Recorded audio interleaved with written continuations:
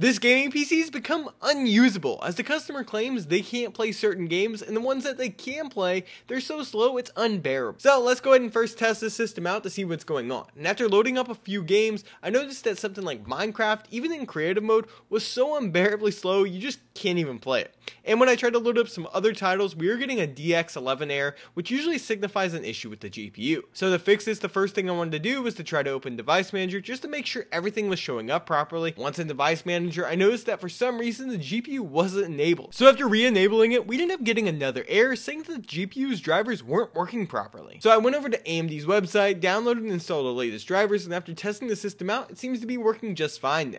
So in this case, it looks like we were just dealing with a simple driver related issue that likely disabled the GPU, and with the system now good to go, let's go ahead and get it cleaned up because the system's pretty filled. To do this, we're going to take our DataVac and clean it out. With this system now back up and working and cleaned, we can now get it back to the customer.